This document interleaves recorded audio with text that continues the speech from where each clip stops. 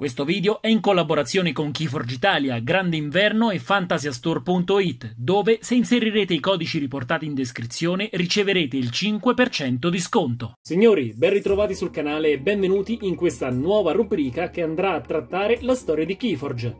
Partiremo dal Crogiolo, incredibile pianeta dove le nostre avventure si consumano, e passeremo per gli arconti e andando così via via a trattare ogni singolo aspetto di questo gioco di mazzi unici. Quindi non perdo ulteriore tempo e vi lascio alla prima puntata di Keyforge Lore. Buona visione! Sono riuscita a vederlo bene, mentre la Quantum andava in pezzi durante la discesa.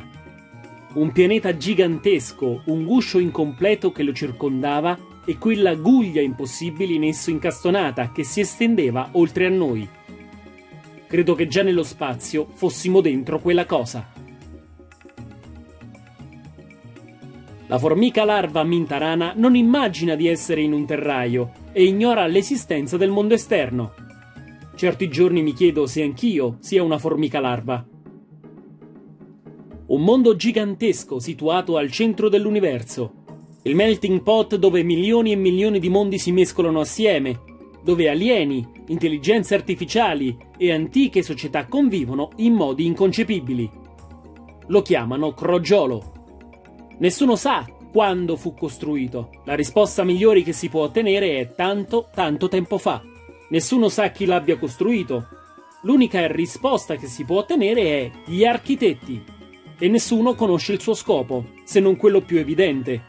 Un luogo dove radunare campioni di ogni pianeta, ogni specie, ogni cultura della galassia. Dalla superficie sembra simile a tanti altri pianeti. È dotato di gravità, a volte più forte, a volte meno forte, di atmosfera, a volte abitabile, a volte no. È popolato da vegetali, animali, formazioni minerali, rovine di civiltà scomparse da tempo. Chi si aggira per il crogiolo non esplora soltanto un mondo alieno, li esplora tutti. Dalle città sospese dei Sanctum alle foreste di cristallo del bosco degli Ember, dai macigni torreggianti della montagna del gigante dormiente alle pozzi di argento vivo della palude di Aregrum. Dalle paludi rosse spazzate dal vento di Nova Hellas ai canyon abissali dell'eco del profondo. Le meraviglie che il crogiolo offre non hanno limiti. E i popoli, razze provenienti da milioni di mondi e cento milioni di culture che vivono fianco a fianco o a tentacolo su tutta la superficie del crogiolo formando bande di nomadi, tranquilli villaggi, frenetiche città, fortezze torreggianti o placidi templi, mercanti o briganti, re o scienziati. Quanta gente! Quando così tante specie e culture diverse vivono fianco a fianco, le vecchie nazioni e gli imperi dei mondi natii tendono a scomparire in fretta, nella maggior parte dei casi.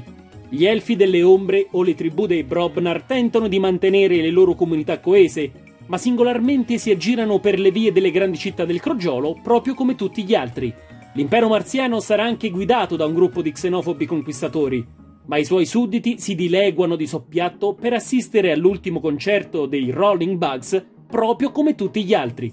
Molte delle innumerevoli case del Crogiolo sono nate sul pianeta stesso, ma anche quelle che provengono da un loro mondo natio come le ombre ora contano numerosi alieni tra le loro fila. Con il tempo il crogiolo cambia tutti, o quantomeno cambia la visione del mondo dei suoi abitanti, poiché al di sopra di ogni altra cosa si erge la Guglia, quella torre assurda che sorge dal popolo e sale verso lo spazio. E dalla Guglia cosa si dirama? Uno strato incompleto del crogiolo? Un possente spazioporto riservato esclusivamente all'uso degli architetti? Chi può dirlo? Ma se fissi il cielo azzurro abbastanza a lungo, avrai l'impressione di scorgere i tralicci e le strutture di un mondo ancora in costruzione. Il crogiolo, per quanto assurdo, gigantesco e artificiale, continua ancora oggi a crescere ed evolversi. Mi auguro che questo video sia stato di vostro gradimento. Vi chiedo di condividerlo con amici e conoscenti che hanno la vostra stessa passione per questo gioco o a chi vuole saperne di più al riguardo. Iscrivetevi al canale, mettete un like o semplicemente lasciate un commento. Grazie per essere stati con me. Noi ci rivediamo nel prossimo video.